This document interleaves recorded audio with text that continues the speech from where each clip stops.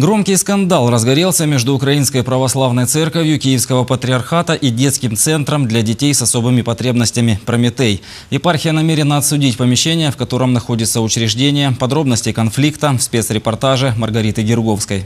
В этом помещении, расположенном вблизи собора Святой Троицы, находится Центр для детей с особыми потребностями «Прометей». Его директор Анжелика Псарева рассказывает, в 2015 году хозяйка помещения Виктория предложила Центру бесплатно арендовать помещение. Объяснила, что оно существует для благотворительности. После трехкомнатной квартиры, где ранее располагались несколько десятков воспитанников Прометея, такое помещение стало настоящим спасением. Прометей работает в режиме детского сада, и в нем занимаются дети с ДЦП, аутизмом и синдромом Дауна. Тут весело, много друзей, тут весело, дружно. Мы пишем, рисуем красками. С полтора года, когда мы еще не ходили, не сидели, не переворачивались, мы попали в центр Прометея, который специалисты занимались результативно с нашей девочкой. Она в данный момент у нас уже первоклассница. Ходим с опорой. Анжелика Псарева говорит, вскоре после того, как Прометей занял это помещение, к ним стал наведываться владыка Фотий, который объяснял, что это помещение принадлежит епархии, и центр здесь находится незаконно. После устных рекомендаций найти себе другое место, владыка перешел к действиям, говорит директор центра. Сначала с его подачи в помещении было отключено отопление. В ноябре месяце у нас снимают газовый счетчик. В то время, когда отопление включают по всему городу, мы три недели с детьми находимся здесь. Но, вы знаете, у нас не заболел, конечно, ни один ребенок. Фоти нас очень хорошо социализирует, в общем, знаете, так подкрепляет здоровье наше. После этого, говорит Анжелика, Фоти похлопотал над тем, чтобы в центре отключили воду. Хотя Анжелика показывает квитанции по оплате коммунальных услуг, на которых указана ее фамилия. Февраль месяц. Мы три дня, дети в памперсах, находимся без воды. Мы едем в водоканал и спрашиваем, где, что случилось, вот платежи, все оплачено, вот аренда, мы арендаторы. Там дети, дети в памперсах, дети дошкольники, что вы делаете? Мне в водоканале конкретно говорят, что Фотий заявил, что это помещение не работает, а ему оно не мешает. То есть вообще никто ни во что не вникает. Пришел человек с крестом и в сане, понимаете, Украинская православная церковь. Ему, естественно, все поверили. Когда мы приехали начали рассказывать, знаете, многим было очень стыдно.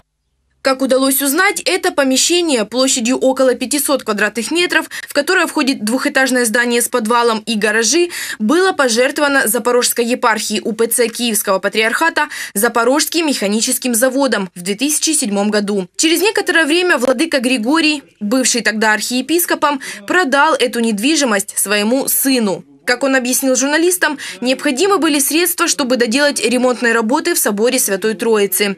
Продажа недвижимости родственнику, на его взгляд, была гарантией того, что здание, кроме как для благотворительных целей, использовано не будет. К слову, завод и жертвовал недвижимость на условиях, что она будет использоваться для осуществления права на свободу исповедания и распространения православной христианской веры. Впрочем, о том, что Григорий продал помещение и оно больше не принадлежит епархии, в этой самой епархии не знали, уверяет нынешний епископ Запорожский и Мелитопольский Фотий. Комунальні послуги, е, рахунки за них приходили на е, управління Запорізької єпархії. Тобто з 2008 року на приватну особу вони е, не переоформлювалися. Більш того, ніхто з духовенства і віруючих не знали, що це приміщення вже не належить церкві. И там духовенство працювало, проводило ремонти. Фотия назначили руководить епархией в 2014 в связи с длительной болезнью Григория, а также причиной отставки указана и продажа владыкой помещения церкви. Владыка Фотий рассказывает, спустя буквально несколько дней после того, как его назначили архиепископом, сын Григория перепродает помещение своей племяннице Виктории. Впрочем, владыка Григорий объясняет, это сделано для того, чтобы епархия не отобрала себе помещение, ведь у нового руководства на него были свои планы плани. Із джерел других вийшло, що тільки приїхав молодий владика і сказав, це я віддам е, бізнесмену другий поверх, що він, бо там він я нічого не, не, не трогав, не зробив, щоб зробив під офіс, гаражі подам під пиво, під склади. Ну, буде займатися бізнесом.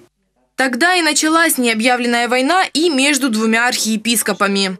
Молодий архієрей мені в очі, що я йому зробив все готове, він каже до священиків, поміняйте всі замки. Як би відреагували на це? Він закриває переді мною оці ворота, що я спородив їх, щоб я не приїхав. Він не дозволив мені причастя принести. Це вже святотатство, це вже страшний гріх. Я кажу, де це пенсія, ця, що пообіцяли на цьому 4 тисячі будемо платити? Він каже, святійший сказав, щоб ні копійки не дати.